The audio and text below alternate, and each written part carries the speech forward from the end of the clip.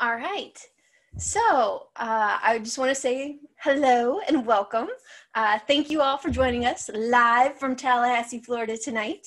Uh, we are Florida State University's higher education program, and we are really excited to have an opportunity to showcase our program um, to everybody who's here tonight, and even to folks who can't show um, and be here tonight. That's totally okay.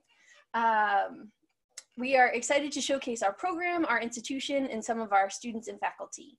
We are recording this uh, video, so we would ask that um, all live attendees mute themselves to prevent any unscheduled interruptions. Um, and if you'd rather not be on the recording, it is now would be a good time to, to mute your camera as well. So um, first, we wanted to start with our land acknowledgement. Uh, we think it's important to our program um, to uh, we know the importance of acknowledging the past to work towards a better future for us all. And so just wanted to say we are joining you today from the indigenous lands of the Apalachee Nation, the Muscogee Creek Nation, the Miccosukee Tribe of Florida, and the Seminole Tribe of Florida. We highlight and play, pay respect to this history because we understand how the state of Florida and Florida State University came to be settled on these lands. We recognize this land as scarred with a painful past of enslavement, settler colonial violence, the desolation of culture, and the forced removal of indigenous bodies. Despite this, we respect the cultural and ceremonial practices these indigenous nations maintain in and around Tallahassee today. As educators, we honor the knowledge of these tribes and their people and acknowledge that Indigenous students, faculty, and administrators are vital to higher education. We embrace the decolonization of our educational system and commit to disrupting suppressive systems through the exploration of many truths and lived experiences, and creating room for those who are often excluded by harmful colonial erasures in our practice and pedagogy. My name is Kendra Bumpus, and I am the higher education GA. I'm a doctoral student, and I will be kind of your MC for the night if I can give myself a cool title. Uh, we we want to go ahead and uh, let you all know our schedule of events for the program. Uh, we will be, again, recording so that students who cannot join us tonight will still be able to get good information. Um, but in that vein, um, we also wanted to offer the opportunity for anybody who is here with us tonight, if you want to submit live questions for us and some of our students, um, please know that you can do that in the chat. We would love to have those questions and be able to answer them for you. So um, first we are gonna go through our master's overview. Um, we are going to have two guest speakers tonight. One is Alan Clay Jr. Hello. And the other is Charlotte Hayes. Hello. They are second years in our master's program. Um, our first years are actually in class at the moment, so uh, we have our second years second years here with us tonight. And so we'll take around 20 minutes to go over specifically the master's program. And then um, we'll move on to doctoral students. And so that is Ricardo Perita hello, um, and me. You're stuck with me. Um, we're in, Ricardo and I are in different programs, but we thought it would be a good opportunity to talk to you all about both the master's and the doctoral students. And then a little towards the end of the program, um, really around the 745-ish mark, we will be having two of our faculty, uh, Dr. Schwartz and Dr. Tamara Bertrand Jones, um, who will be joining us. Uh, Dr. Bob Schwartz is my advisor. Um, he's pretty awesome. He has been in a lot of different positions around the program. And Dr. Bertrand Jones is our associate chair for the ELPS department. And so we are very excited to have them um, joining us today. So that way, again, if you students have any questions, you can feel free to ask them. So I am going to turn it over to Charlotte and Alan. Um, I'm going to ask both of you to tell us your names, your pronouns, uh, where you come from, as well as um, you know your undergrad, and then tell us where your assistantship is. Okay, I'll go first. Um, hello, everyone. So great to meet you virtually. My name is Charlotte Hayes, as you'll see there. Um, my pronouns are she, her, and hers. I am originally from Alexandria, Virginia. It's about 10 miles outside of Washington, D.C. I went to Virginia Tech for undergrad, which is in Blacksburg, Virginia, Southwest Virginia. None of you look like Hokies, but that's fine. Um, we're doing great. Um, and yes, yeah, so I'm a second year in this higher education master's program. My current assistantship is um, with advising first, so kind of more on the academic side of a university, uh, advising students, as the name implies. Um, did I hit all of the points? I'm always nervous I miss something, you know? No, you got them straight up. Wonderful. Alan, your turn. all right. So, my name is Alan Clay Jr. I am a, well, obviously, second year graduate student. Um, my pronouns are he, him, his. I am from Cincinnati, Ohio. I attended my undergraduate institution at a small private liberal arts school named Davidson College, located in Charlotte, North Carolina. And my current assistantship is in the Department of Student Conduct and Community Standards. So, very law and policy type of things. Always interesting, though, but yeah. Fantastic. So, um, Charlotte and Alan, if you don't mind, tell, tell us a little bit about your journey. What were you looking for in a in a master's program?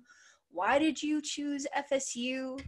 Um, and what's something that maybe surprised you about Florida State? Alan, do you want me to go first? Yeah, sure. okay. So, why what there, there were a lot of questions there but what was i looking for in a master's program? For me the biggest thing was a feeling a vibe that might be different than how other people do it but i wanted to be in a place that i was going to feel comfortable and welcomed and included uh, so I applied to a bunch of places all over the country, just kind of was like, yeah, let's see what happens.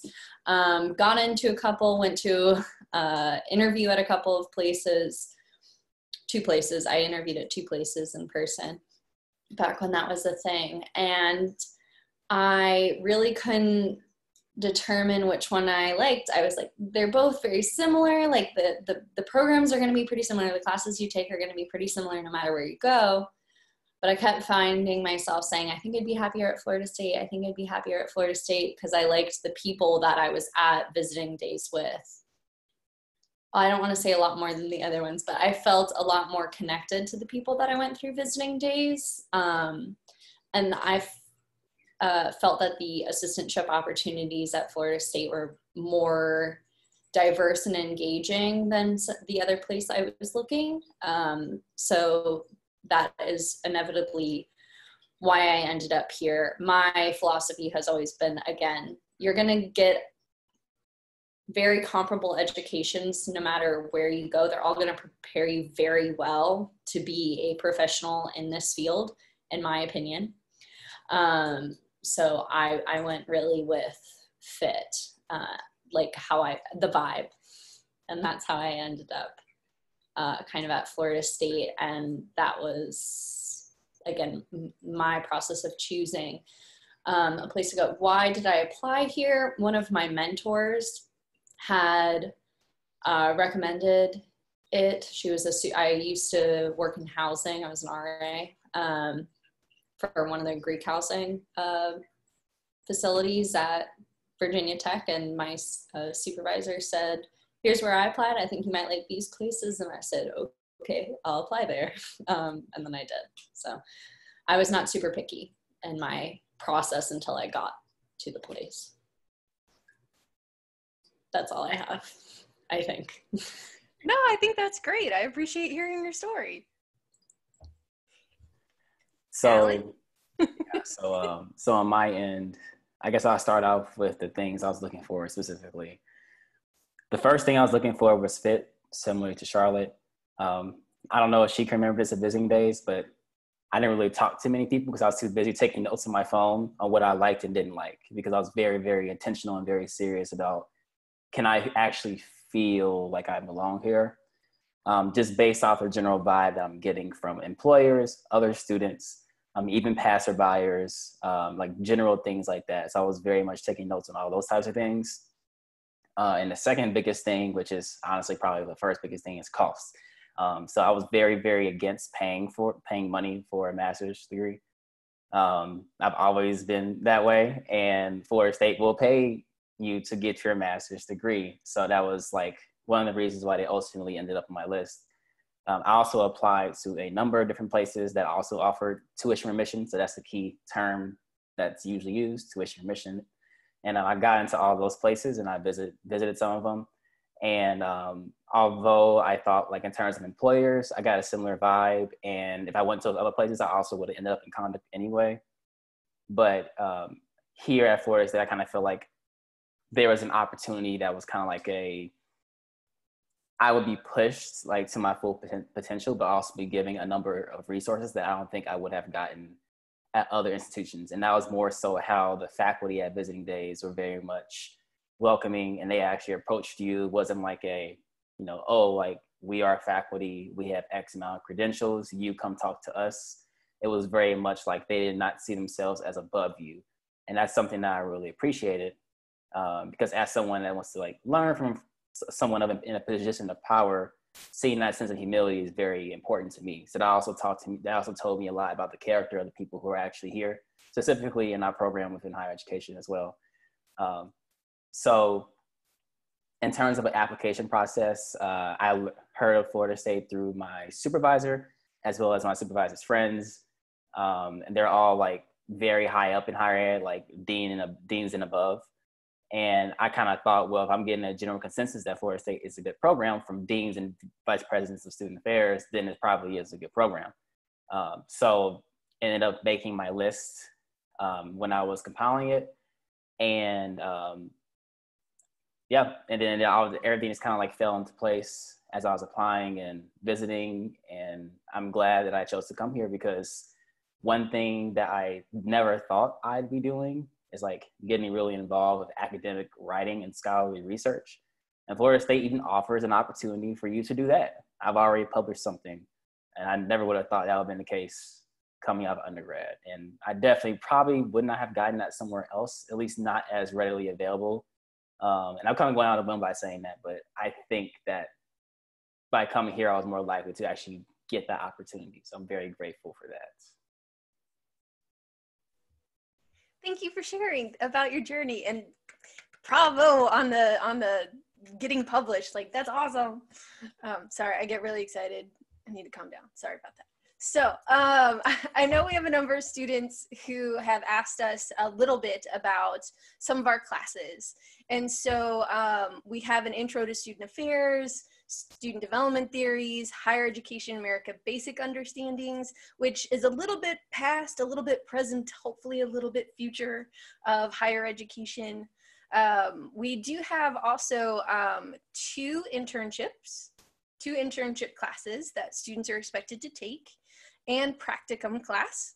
Um, Charlotte and Alan, can you tell us a little bit? I know that practicum was very different for your year because, you know, COVID. Uh, but can you tell us a little bit about what practicum looked like for you all? So when it, so I know when I was applying, when everyone kept saying practicum, I was like, what are you talking? Like, I don't know what that means. So what that is, is kind of, uh, it's a class that we take over the summer where during a standard year, uh, a more normal year, uh, we would travel to a different city in Florida. So maybe Jacksonville, maybe Orlando, um, maybe Tampa. We don't, I don't think they usually go further away from that. Because if you don't know, FSU is kind of located in the armpit of Florida. Maybe not the best way to sell Florida State, but like if you think about it, it's kind of that. Anyways, um, we don't go further south than that is all that I was trying to say. But we go to one of those various cities and we visit a number of different institutional types. So Florida State is a large PWI, so primarily white institution, research R1, I believe, um, institution. So this gives us an opportunity to see a little bit more about how a private college may work, how an HBCU may work, community colleges, et cetera, et cetera. These different Carnegie classifications. If you're familiar with what that means, it's just kind of, again, the different types of institutions that are out there so you don't only get experience at a PWI. Um, we're trying to be an HSI, which stands for Hispanic Serving Institution. However, that's not the case right now. I'm trying to be very clear in all of these acronyms. If I use something and I don't explain it, please just send something in the chat and I'll try to clarify it. But anyways, so it's a week looking at all these different institutions that is required. All students must do that. Then there is an optional opportunity, usually just the week following, that is an international practicum experience where we go to London and kind of do the same thing in London. So experiencing and how an international what what higher education internationally looks like um, and different institution types and such again at the international level um, Alan, I want to leave some things for you to talk about. So I don't know if you want to hit on kind of what it ended up look, looking like this year slash would probably look like next year. Um, if you want, or I can keep going. I just want to include you. Yeah, it's fine. Um, so I can generally talk about how it looked like for us this year, which I don't think it will look like look like this in the future. Um, fingers crossed, just because uh, ours is very much COVID unfortunately. So basically, what our professor ended up doing, and she did a fantastic job of doing that and trying to make it the most out of a bad situation. I'm very grateful for that too, because I actually was able to learn some things from there, um, especially since she didn't have much time to make the class into a virtual component and things like that. But um, basically, ended up being over Zoom, of course, but she did a number of interviews. I want to say maybe between 15 and 20 of different people in different positions. So ranging from entry level all the way up to vice president of student affairs and everything in between um, across different institutional types. So community colleges, private institutions, four-year institutions, large, small, public, private, etc. across different spots in the world.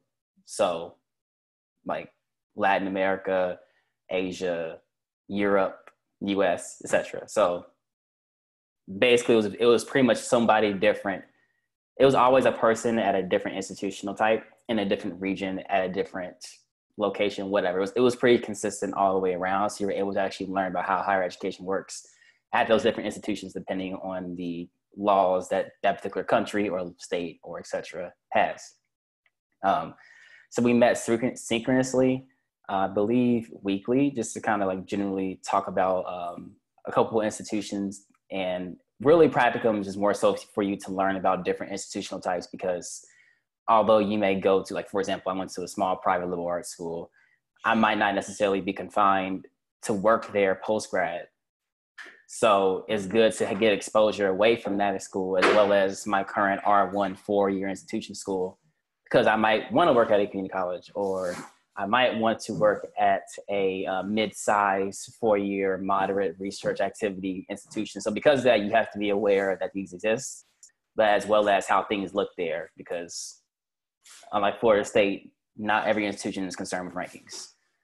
So you have to see what other institutions might be priorities, such as like providing opportunities for first gen students. Um, and that's why they might appear lower in the rankings than others. But that's how our practicum ended up looking. And I really enjoyed it. Fantastic. Thank you both for sharing your experiences on that. Um, I know that for some of our, our interested master's potentials, um, you're probably wondering a little bit about the assistantship process. And so our goal is to make sure that everybody who comes to Florida State has an assistantship. And we do that through visiting days. Uh, visiting days will be virtual this coming year in February. Um, we're moving towards the back end of February, and it'll be a Thursday through a Saturday. And if you give me one second, I'll make sure I get the dates. Um, I do want to go ahead and make sure everybody knows that um, our goal is to make sure it's a 20 hour assistantship. Part of that is because of um, the ability to, to like have a living wage in Tallahassee. Um, but our GAU fought really hard, and so our hourly pay is 20 hour, uh, $20 an hour. So I think that that is an important piece to note because um, our GAU has been like busting their behinds, if I can just put that on the recording, um, to make sure that we have a living wage. Um, Tallahassee does not necessarily know it's not Miami when it comes to rent at times. Um, Charlotte and Alan, if I could ask you just really quickly, um, thank you, February 25th. Thank you, Charlotte. Um, so it'll be the 25th through the 27th, Thursday through the Saturday. And then GAU, thank you, Alan, is the Graduate Assistant Union. And so they're the union who fights for the rights of the GAs um, and TAs and RAs, not like housing RAs, but research assistants, TAs as in teaching assistants. telling you, alphabet soup, y'all. Sorry about that. Um, but Alan and Charlotte, can you tell us a little bit about what it's like to be a master's student um, here in Tallahassee? Just like little, little bit.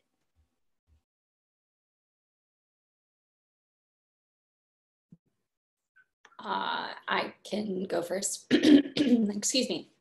Um, so Florida State, our master's program is cohort model. So that means that you take all of your classes together um, for the most part until you start getting into, you know, your um, electives and stuff in the second year.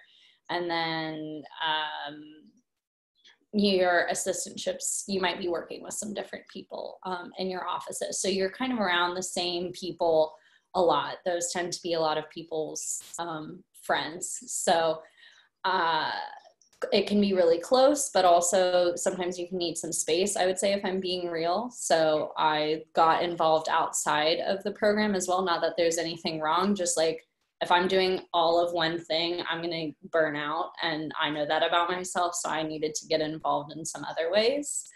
Um, so I balance my time kind of between class and my assistantship and my internship with some of my hobbies that are outside of the program. Like I attend a local church and I'm pretty involved in that personally, but if that's not your jam, that is also fine. I know that kind of comes across as like a stereotypical Southern thing, which is if you want that, great. And if you don't want that, that's also fine. Um, and ways to kind of engage in both of that. But um, and then I advise um, the sorority I was part of in undergrad. So that that's kind of how I got involved outside of it. Tallahassee is an interesting city, which I know the word interesting can mean kind of good and bad. So I mean, we have to address the fact that we are in the South. So there are going to be some some interesting people, um, but it's also the capital. So there are some also interesting people on the on the other side but that that's a piece of it. You can find kind of i would say most of what you would be interested in doing somewhere uh, in in the city. I don't know uh, what you would add to that alan or if that's what if that was good. Kendra if that's what you wanted me to speak to but um, kind of again there's a lot of outdoorsy things to do and it's and it's interesting. It's kind of the vibe that I get. Yeah, and, and a lot of things that Charlotte said are definitely true. Uh, so I'm basically just going to talk about like I guess what it's like for me being a master's student in Tallahassee. Um, generally speaking, it's fine. I think that our assistantships do generally a pretty good job of actually keeping you at 20 hours or less. And um, generally speaking. But if you feel like they're going over, then of course have that conversation with supervisor and reach out to Kendra because it's very illegal. So I'm very I'm someone that's like I will never ever work more than 20, period. Like my email goes on mute at 5 p.m. every day and is on mute in the weekends. That's just me. That that's just because I've set those barriers. Um, but everybody might not have that luxury. So being able to draw the lines uh, where you see appropriate and some people like love to incorporate the personal life of work. So it's whatever works best for you. I'm not one of those people.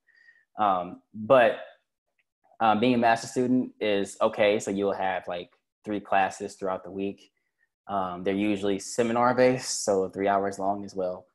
And uh, you, your assistantship hours will always work around your class schedule. So you will never like work and be in class at the same time. Um, and the classwork is pretty much generally balanced. It's, pre- it's pretty balanceable um, because like all your professors also know you were in assistantships, and um, some of them will even have you like share to the rest of the class like generally what you do in yours and kind of go back and forth and various things like that. which is also pretty cool.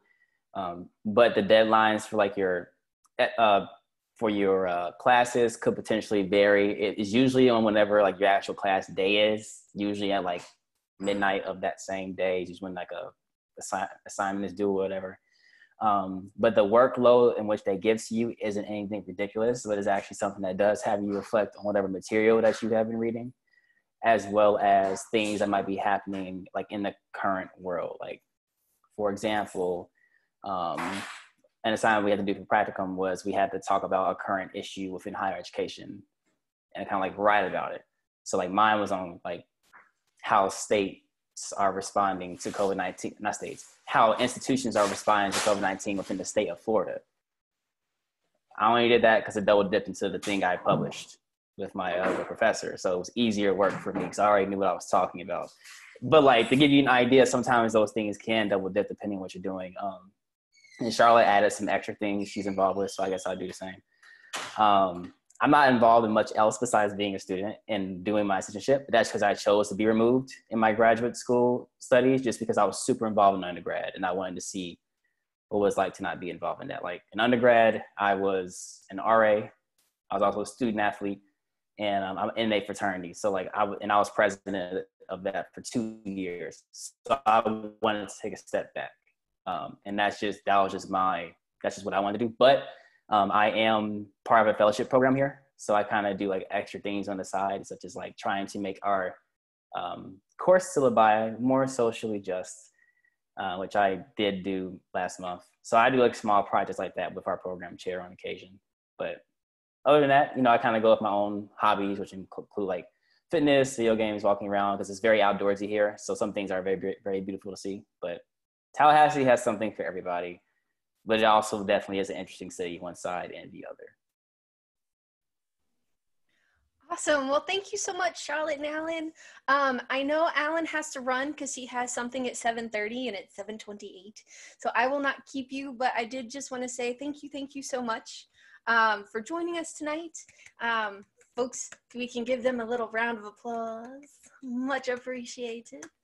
Um, and thank so that, yeah, yeah, thank you. Um, if you um, have any questions for Alan or Charlotte, um, might you all be willing to share your Twitter, Twitter, twi- Twitter, Twitter handles? Yes, I will. I'll put it in the chat.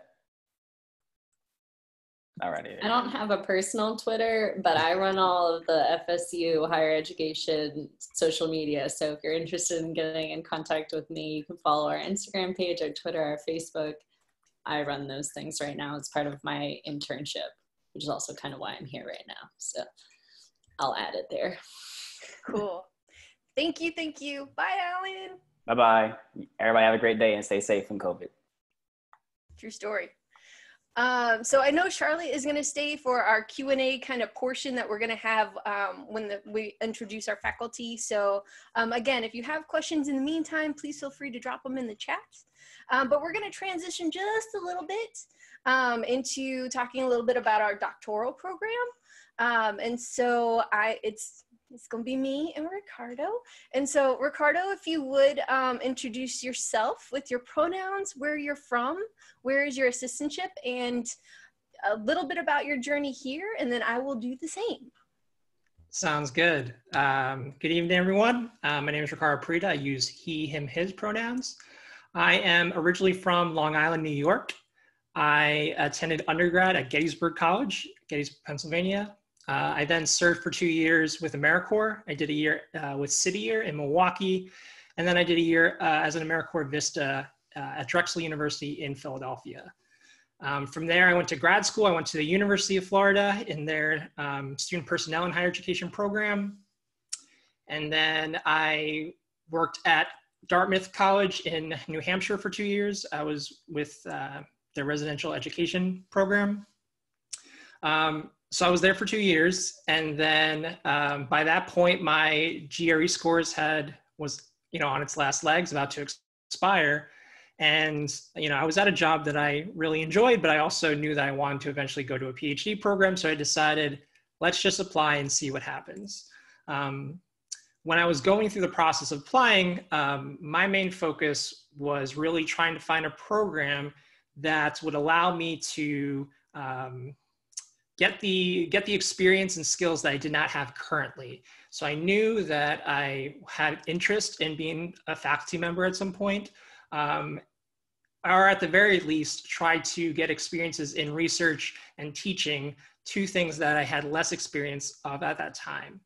Um, so that was my main focus when I was applying. And, you know, I, I, as I said, I already went to UF for grad school. So I was, I was trying to stay away from Florida because I had already experienced it. And I also had a concern about experiencing a doctoral program that I felt like, okay, this is a very similar school to UF. So would that potentially look different than having an experience of a doctoral program in a complete different institution?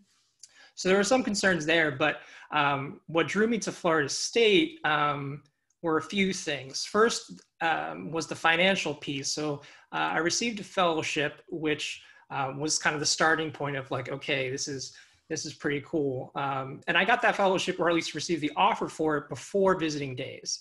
And so I decided to attend visiting days virtually um, to kind of gauge the program, see how things were going. And during that experience and through my conversations with various faculty members, I realized that um, they were really going to be there to sort of help me achieve my goals. I've been very outcome driven from the get go, and that's still the case now. And so I really wanted to make sure that I had the flexibility to do exactly what I wanted to do. Um, I knew I wanted to do research in something that was important, that felt um, relevance, um, something that was timely, something that was going to actually, in my mind, um, lead to an impact. Um, and, you know, uh, Dr. Perez Felkner, who's one of the faculty members here, um, she was doing a project related to housing insecurity with college students. And so that was really interesting to me. Um, and then I also, um, again, wanted to make sure that I could get experiences with conference proposals, with publishing, with all these different things. And I also was getting that side um, from the other uh, position I received was uh, with the Leadership Learning Research Center. So my fellowship allowed me some flexibility, which was really helpful. Um, so right now, I work in the Leadership Learning Research Center, uh, where I get to teach undergraduate leadership courses, which is really awesome. Um, I also am currently in the process of trying to design some courses, um, have helped assess some courses, and also doing research related to leadership development. And then, as I said, I'm also working with Dr. Perez Felkner um, on another project related to food and housing insecurity. Um, so I really get get that opportunity to kind of work with multiple people and um, you know on one side I get to advance some qualitative uh, data analysis on the other side do some quantitative data analysis um, and so that's been really cool and sort of what drew me to florida state and has been what kind of has kept me going the last uh, year and a half almost now um, since I'm a second year. I don't know if I mentioned that second year. This is my second year in the program. So um, that's a little bit about me. Awesome. And then a little bit about me. Again, hello, my name is Kendra Bumpus. My pronouns are she, her, hers, and I am the higher education GA. So um, I actually am a Midwesterner by trade, as I like to say. Uh, I'm from the rural area of Illinois, so not Chicagoland, but like dead center of the states, and did my undergrad at Southern Illinois University, Carbondale. Um, go Salukis, haha. Uh, and then I went to um, Ohio State for my master's program. And so um, I was while there, I was a GA in housing. I kind of got my start in like student engagement through housing and had a 12 year long career in university housing before coming back for my doctorate. So I worked at, at Arizona State and then I worked at Clemson and then I came here to Florida State actually to work. And I was an assistant director in university housing here for a number of years. So if you look up my name in Florida State, you might get redirected to housing, but I promise I'm with the program now. So just to put that out there. Um, for me, I would I am a third year and I took my time coming back. Uh, I did have to retake the GRE because while the GRE is waived currently for the master's program, um, it is not waived for the for the doc program, but we're working on it. We're working on it, y'all. Um, but uh, I did have to take the GRE, and that was okay because I needed to get back into student mode. And so, one of the nice things that Florida State does is if you're a professional um, and you've been at Florida State for a year, you can actually take some courses, and it's called an employee waiver. And you can transfer in, I want to say, three or four classes into your program. So I I, I maxed I maximized that opportunity. Um, and so I've, I've actually, ca- I came in um, with about a semester of coursework before I even got into the program. But because I had 12 years in housing and because housing is what I want to study in my thesis, um, I knew that I couldn't continue to work in housing because it didn't, at least to me, make sense to be in the same space that I am trying to critically think about. Um, and so I looked at all different kinds of opportunities. And so I went through visiting days, just like everybody else. Um, luckily, got picked up through the program, so I get to work with all you fine folks. Um, and you know welcome incoming students and work directly with students which i hadn't done in probably around a decade um, because of my other opportunities i hadn't worked with undergrads necessarily or you know people who are coming in on the student side so um, for me, I was looking at a doc program where, kind of like Ricardo was saying, I could do what I wanted. Uh, um, not not to be that person, but I wanted, I knew what I wanted to study for my dissertation, and it's kind of niche. Um, I want to study physical aspects of residence halls and how they impact students. That's not something you're going to find everywhere. And in my search for trying to find doctoral programs, I actually had a couple of places where I had contacted them and they were like, yeah, we don't have anybody who can help you here with that. Um, Florida State did. And so I was very excited. You know, I take my outside courses in interior art and design. Um, and so if you're not familiar with our doctoral program or even our master's program, I highly recommend that you head to our um, website and under student guide, there's a drop down box.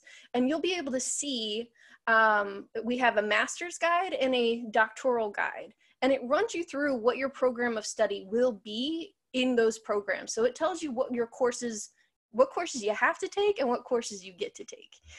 Because um, we also include some of our electives in that as well.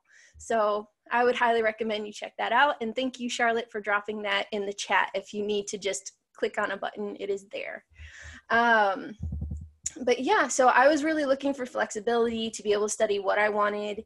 And I wanted to be able to take my outside courses either in art and architecture, interior art and design, something outside that made sense.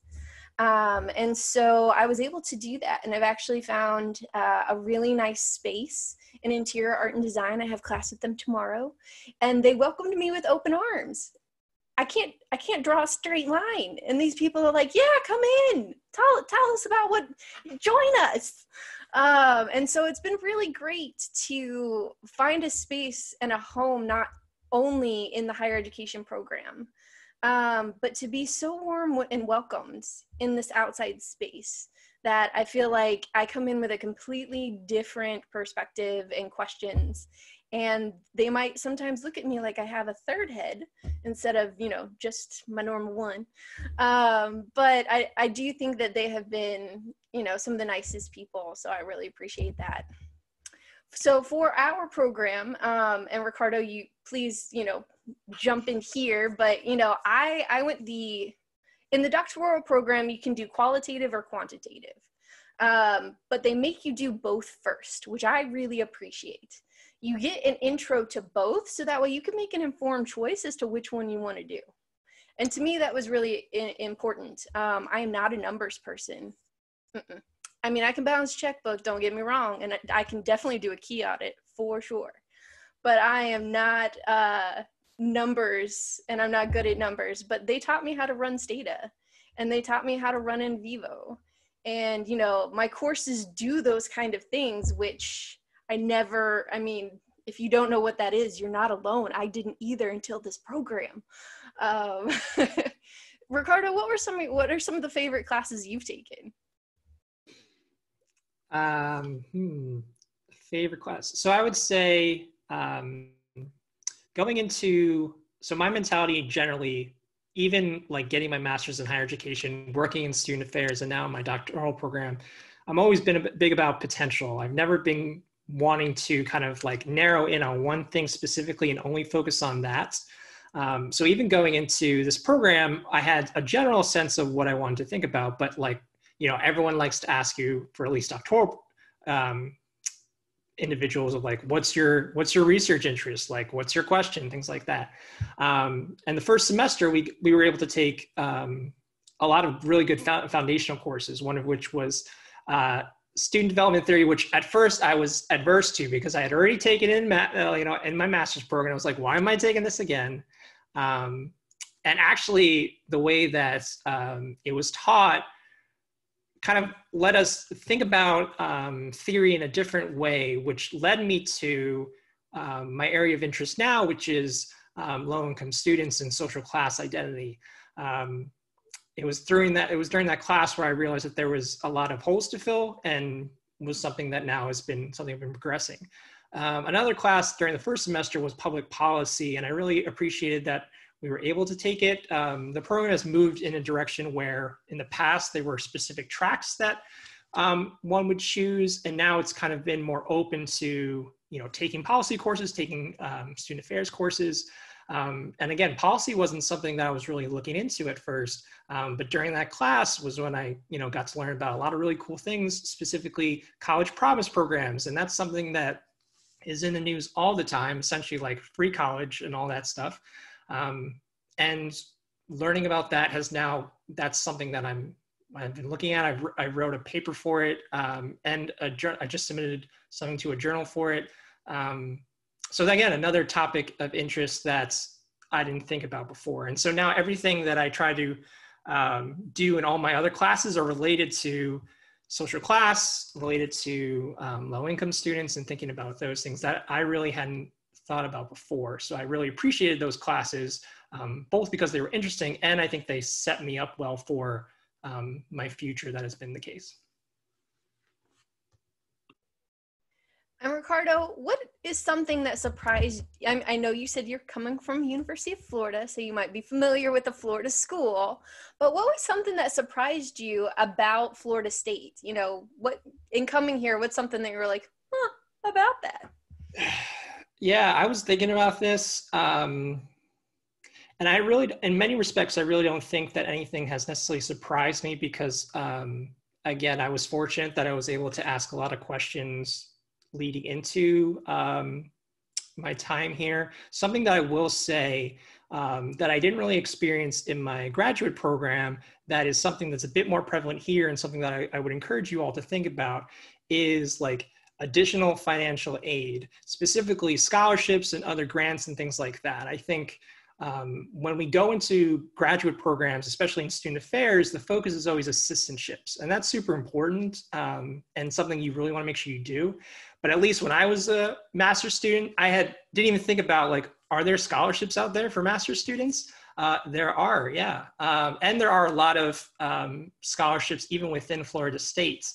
Um, so this this has been kind of new in my mind of like you know I think the program itself is interesting because it has the Hardee Center, which I'm not sure if Kendra will speak about here, um, but that is kind of this um, bridge to alumni and also a lot of other financial opportunities, which is really cool. Um, and even within the College of Education, there are additional scholarships every single year that they offer for current students. Um, so you know i've been able to think about and look into additional scholarships beyond what i received initially and so i would say as you are looking into programs looking into assistantships don't be afraid to also just consider like what else is out there just to make sure like even when you have your assistantship that covers tuition you still have to be thinking about housing thinking about food thinking about these other um, pieces that you might not be considering right now and so being mindful of really setting yourself up well so that you can be in a place to like really focus in on the work and accomplishing what you want to.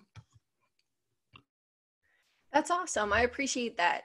Um, it's interesting that you mentioned about Hardee because there there are two things that surprised me about Florida State. One was the history of being a women's college.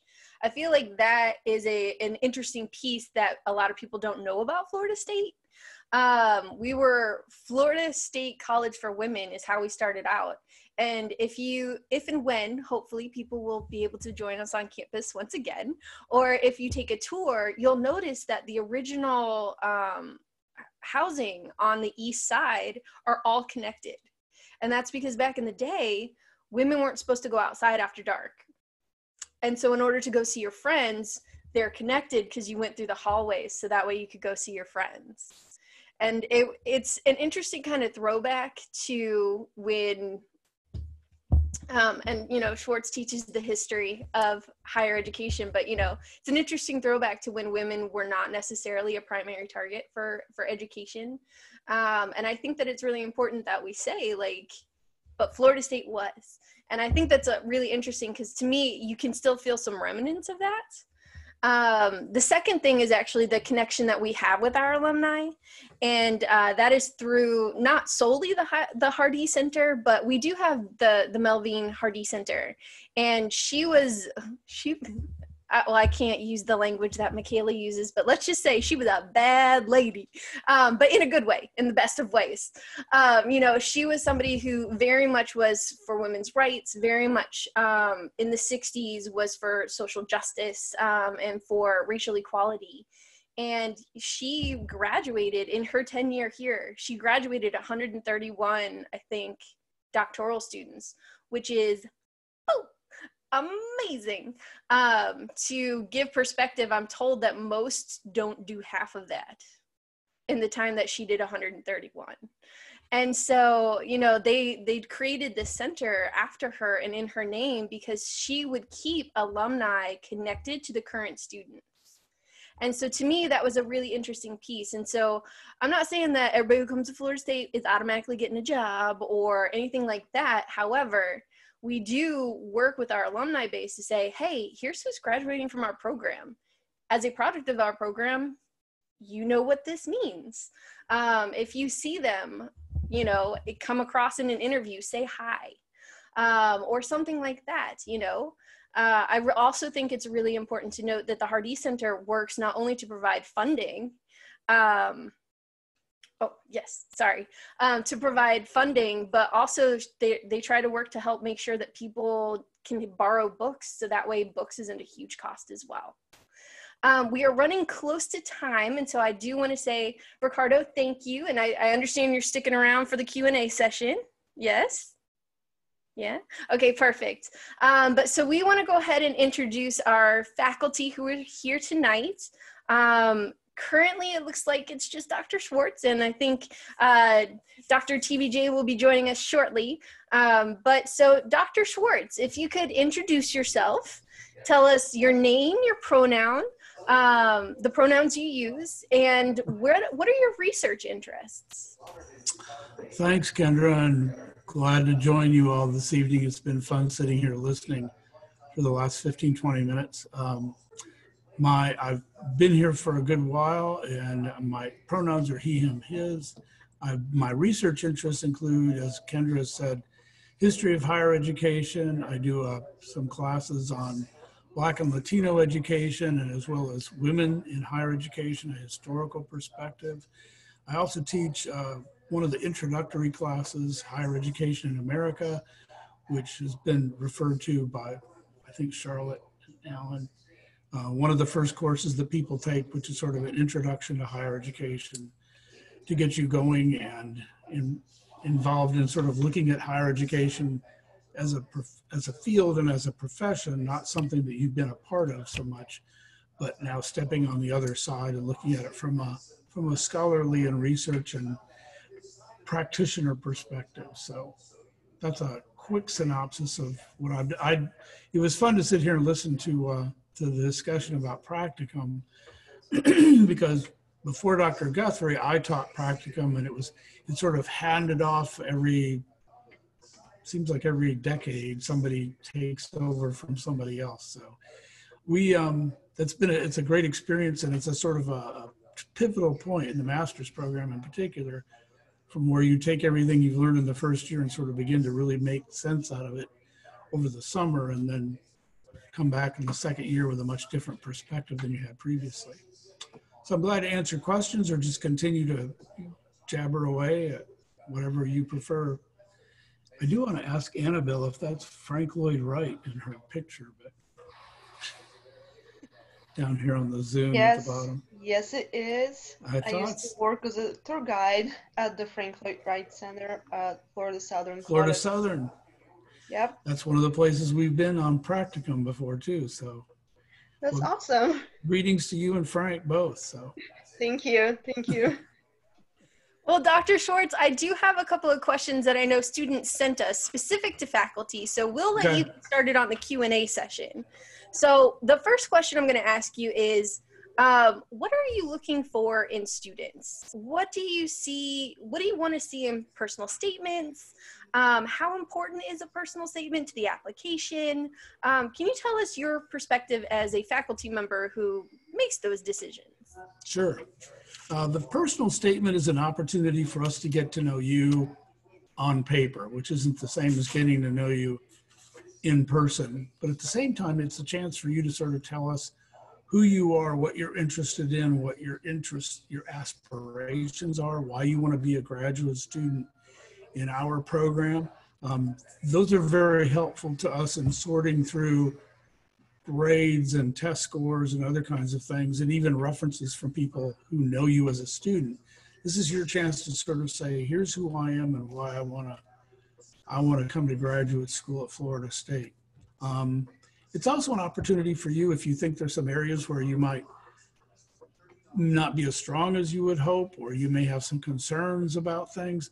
That's a great opportunity for you to sort of share some of those issues with us to a degree, to the degree you're comfortable, and just say, um, I had a little trouble in my freshman year as an undergraduate, but I pulled out of that and I finished strong, or things of those nature, which I think it's it's an it's an introduction of who you are and what you what you're capable of, what you're interested in, and why you want to join us. We've we've got to make a decision because once we admit you as a student, we're committed to you as a master's student for two years or as a doctoral student for right, Kendra, for for a longer period of time, uh, generally three to four years, and so the money that we have to share with you, the assistantship opportunities we have for you to help fund that experience and for doctoral students is, as Ricardo said, you know, the, the opportunity to, to find fellowships and other things. We need to know who you are and, and, and what your aspirations are and how we can help you achieve all that. So that's the personal statement from my perspective. Fantastic. And Charlotte, I think you make a really good point. Do you want to verbalize what you wrote in the chat for folks? Sure. I was just, Dr. Schwartz was um, not that, anyway, he was saying, you know, a place where you can talk about what you want to do. And I was like, it's okay if you don't know what you want to do. I didn't know when I applied, I didn't know until I had taken a couple of classes. So don't feel like you have to have this pretty little box um, that you want to do for the rest of your life. You could also speak to, you know, your experience, what experiences you're looking for, and that you're just kind of on the path trying to figure it out. And I think that that's completely valid too. You don't, this isn't a program where it's like, okay, if you want to be a student conduct coordinator, this is where you come. That's not, that's not the program. Good point. Fantastic. Um, one other question that I had seen coming in um, was somebody had asked about GRE. And so I, I, think I mentioned this earlier, but I wanted to make sure that people knew. Um, due to the COVID situation, we are not looking for GRE scores from master students um, for this year. If you are applying to the doc program, you do need to take it. Uh, but uh, please do know that, again, if you're interested in coming here for masters for this incoming year, um, the GRE has been waived. So. Yeah. Um, and the GRE right now is a, under a lot of debate in higher education in general. Um, so we're sort of at a, at a tipping point one way or the other. In some programs, it's still required and expected. Uh, I think one of the issues is, is to some degree even social equity. It's an expensive proposition. I used to always suggest to students who are applying, you know, think about taking it two times because the first time you're just scared to death, and by the second time, you got to you got it managed. But the expense of the GRE anymore is just prohibitive for many students, and it's uh, it's, it's not something most people would sign up to do. I've yet to meet a student who goes, "Oh, I'd really love standardized testing. Could I take another, please?" Um, so I think right now the graduate school is not requiring it um, for for master's degree in particular, and we're actually uh, in uh, in a process of arguing with them about the doctoral level as well. But that's not that's still out there. So if you've already taken one and one is that's great. Um, but if you haven't taken it yet, um, not a necessity at this point. And so those were the the pre-planned questions that I have, and it looks like I've, we've got time for one or two questions if somebody has questions. If you don't, I don't want you put feeling like you're put on the spot, but I'm on the spot. You're just like, A question. I know that PhD program is in person and the EDD is more online. Um, with the EDD, do you have any options to take in-person classes? Um, is there any overlap allowed with that? the EDD as we have done it up to now has been in person. We're moving it slowly but surely to the online program. And that program to move through students through in a structured three-year program, which is what we commit to, there really aren't any in-person variations off of the, the track. So it will be, it has been, but what we need to talk about is how it will be uh, when you apply for the EDD. People have the numbers that we've seen, and I was department chair when we first started the EDD or trying to get it approved. It was the first completely online doctoral program in the university, um, and it has become enormously successful. So that doesn't mean you can't be here and participate. Um, but we can talk more about that as well. Right now, the EDD has been in person. It's moving, I think, pretty much to it to the online mode for the future. So the PhD will still be face to face. So Wonderful, thank you. I've heard great things about the classes that have moved online. I've had several peers that have, have taken them and loved it. So thank you for clarifying. sure, you're very welcome and thank you. We're Kendra and I are are struggling with our Zoom and Canvas skills online this semester, and it's for the most part going pretty well. But I feel you. I teach synchronously, so I, I get you it. yeah, I accidentally Yeah. meant to I really, in yeah. breakout rooms yesterday, uh, of last class, and I I ended the Zoom. I'll say I've actually enjoyed it. I came, um, I worked 20 years in corporate America and I used, I lived on Zoom um, three days Oh, a week God. from nine to five. And so um, I was excited to be back in academia and, and teach in the classroom. And obviously COVID happened. Um, but I've Okay. actually enjoyed being online more than I thought I would. there's there's Um, parts of it that are really very en- engaging, but it's just not the same as walking into the classroom and seeing Charlotte sit in her chair Right. Well, I'm blessed, right? I volunteer with some RSOs on campus, so I still That's- get that student that's helpful. engagement.